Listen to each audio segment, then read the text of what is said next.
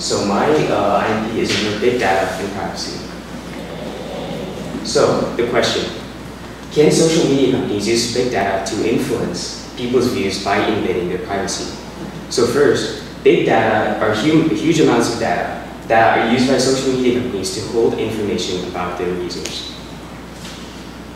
So my argument is that yes, big, uh, big data can be used to influence people by invading their privacy. And while there might be advantages to this, there are major disadvantages, such as how uh, the possessors of this data, or the people who have access to it, might either sell it to third-party companies, or might um, use it themselves to influence people indirectly.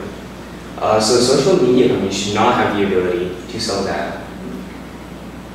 Okay, so why is it dangerous? This is dangerous because the amount of private data, because of the pri uh, amount of private data that companies can gather. Um, so a quote by uh, Edward McNicholas, a professor of um, data security, um, he believes that big data, because big data has been progressing so fast over the years, um, there should be new laws put in place to restrict, to put restrictions on this big data from doing too much damage.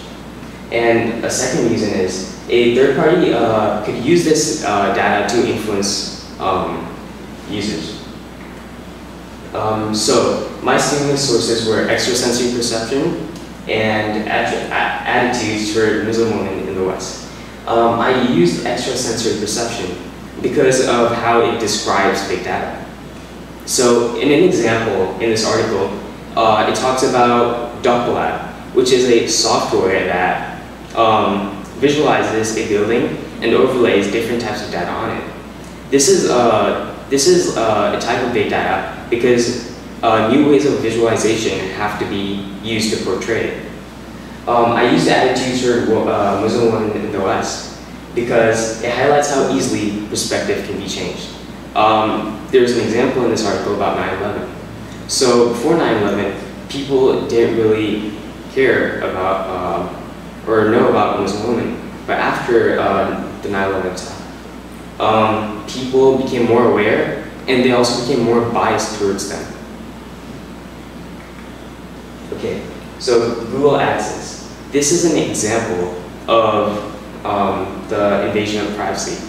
So uh, Google AdSense is the software that's developed by Google and it uses search history to show relevant ads to um, these users. Um, so Google AdSense actually, uh, it might seem harmless, harmless, but it's actually very, very dangerous because Google essentially has the ability to view all of your search history. And Google might also uh, share this data with other third-party companies. So, um, discrimination. Um, so when Google uses AdSense, actually Google is not the one that posts these um, ads on these websites. Google gives other uh, companies access to post these ads. Um, and because of this, these companies might discriminate against other users based on the data that they have. Uh, this is illegal, uh, and this might influence bursts of racism. So, some statistics. 90% um, of the data in the world today has been produced in the past two years. Uh, this goes back to the Nicholas um, quote about how um, because uh, there's so much big data, it's really important to have um, security and restrictions against it. Um, more than a billion unique visitors visit YouTube each month. Um, so because YouTube's parent company is Google, Google actually has access to all the videos that these users watch. And this is really dangerous. Um, and Google has more than a million uh, petabytes, and one petabyte is actually one million gigabytes. Uh, so this just gives you an idea of how much data Google has on its users. Um, this is another current example of um, data uh, invasion of privacy. Um, so Facebook is very controversial right now because it sold data to Cambridge Analytica, which is a research and uh, data research company.